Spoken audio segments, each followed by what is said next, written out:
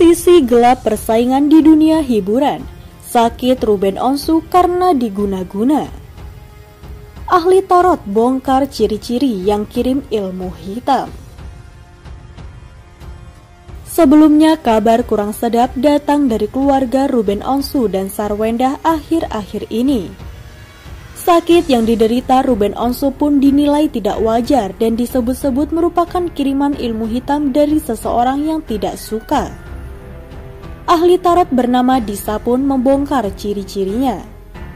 Dikatakan Disa ada seseorang yang tidak suka melihat kesuksesan Ruben Onsu.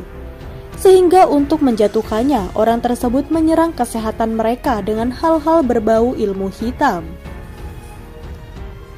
Memang ada orang di luar sana yang tidak suka dengan kehidupan keluarga Ruben Onsu, ingin menyerang ke kesehatan mereka. Ungkap Disa.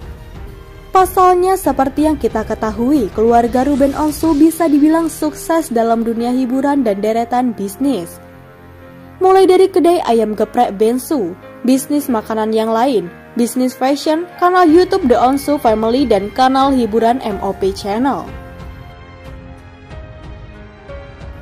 Sang peramal menyebut penyakit yang diderita oleh Sarwenda dan Ruben Onsu tidak bisa dijelaskan oleh medis.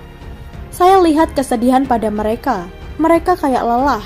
Lelahnya ini tidak bisa dilihat secara medis dan hanya mereka yang bisa merasakan perubahan di badannya itu tidak wajar. Tiba-tiba punya serangan gak bisa tidur. Untuk istrinya pun begitu, pola pikirnya jadi dibuat gak nyaman lah. Paparnya.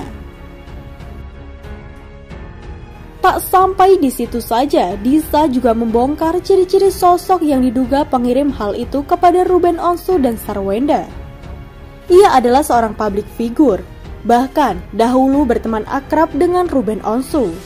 Namun karena diduga iri dengan kesuksesan Ruben Onsu, maka sosok itu mengirimkan bahaya yang menyerang keluarga Ruben Onsu. Pernah kenal, Salah satu publik figur muda di masa lalu mereka pernah berteman. Saya sendiri tidak bisa menyebutkan ya, ucapnya.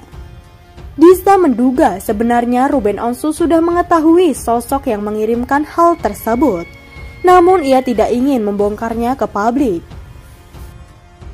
Saya rasa Ruben Onsu ini sudah tahu dan menyadari siapa orangnya. Cuma dia mencoba untuk ikhlas, ucapnya. Sebagai tambahan informasi seperti yang dikutip dari Warta Kota, Ruben Onsu sempat berkali-kali harus dilarikan ke ICU karena kondisinya drop. Ia bahkan mengalami kekurangan darah, sehingga harus dilakukan transfusi. Saat dicek oleh dokter, diakui suami Sarwenda Tan itu mendapati tidak ada darah di bagian tangannya.